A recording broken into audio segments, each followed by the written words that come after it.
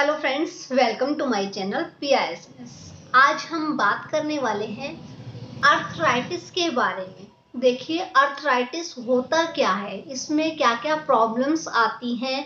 इसका क्या उपचार है? इसके क्या एक्यूप्रेशर पॉइंट हैं? आज मैं आपको सारी चीज़ें बताऊँगी।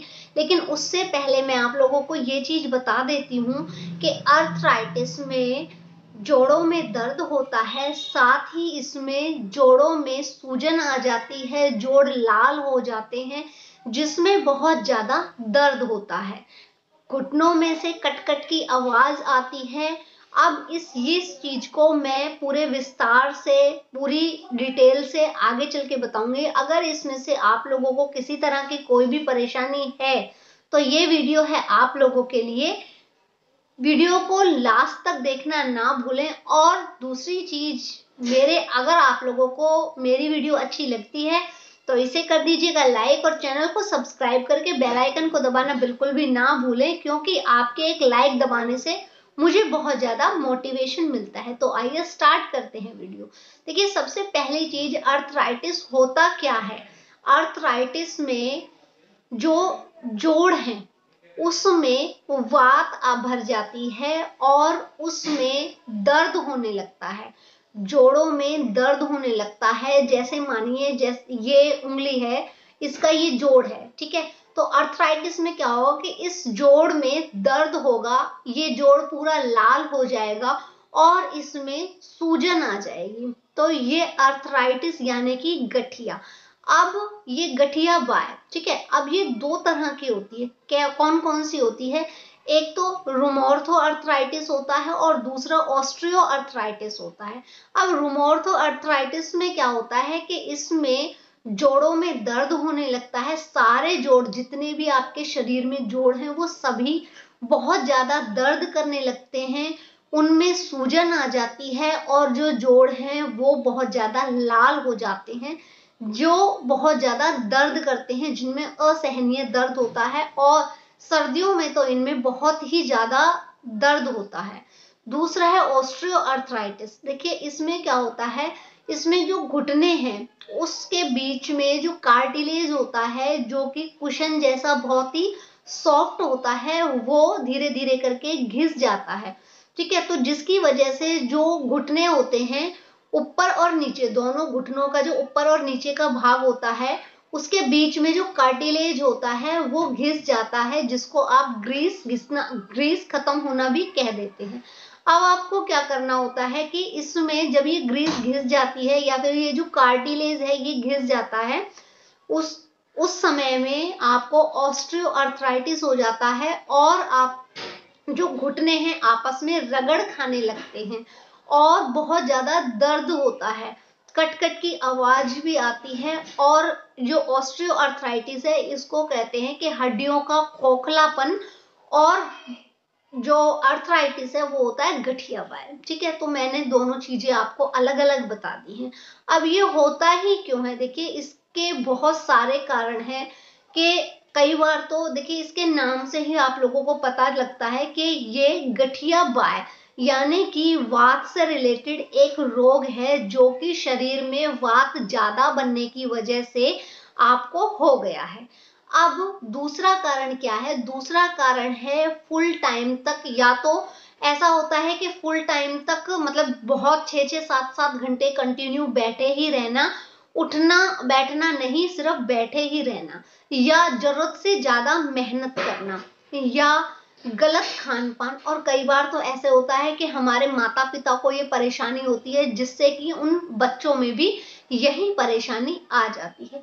अब आप इसको खत्म कैसे कर सकते हैं? कैसे, क्या इलाज है इसका? देखिए, इसका इलाज है कि आप लोगों को प्रोटीन, कैल्शियम और विटामिन, इनसे युक्त खाना खाना है, व्यायाम करना है, वॉक करनी है, दौड़ नहीं लगानी है। और दूसरी चीज़ आपको क्या करनी है देखिए इसका उपचार बहुत ही आसान है। देखिए सबसे पहली चीज़ तो जो दर्द करते हैं। देखिए मानिए आपको ऑस्ट्रोआर्थराइटिस की प्रॉब्लम है जिसकी वजह से जो है। कार्टिलेज है वो घिस चुका है और आपके घुटनों में से आवाज़ आती है कट कट की चलने फिरने में बहुत ज़्यादा दर्द होता है। तब आप क्या करेंगे कि कि आपको तेल बनाना है। कौन सा तेल बनाना है मैं आपको बता देती हूँ। देखिए आप तिल का या जैतून का दोनों में से कोई भी तेल ले लें। कितना तेल लेना है? 100 ग्राम तेल ले लें। उसमें आधा चम्मच मेथी दाना, आधा चम्मच जो आप काले वाले तिल होते हैं, वो वाले तिल लेने, वो वाले तिल ले लेने हैं। तीसरी चीज़, इसमें तीन से चार कली लहसुन की काट कर डाल देनी है। और पांचवी चीज़, इसमें आप थोड़ा सा एक पैकेट केसर आता है, जो कि दस रुपए का आता है, आप मार्केट से ले आएँगे, वो पूरा पैकेट आप इस तेल में डाल लें।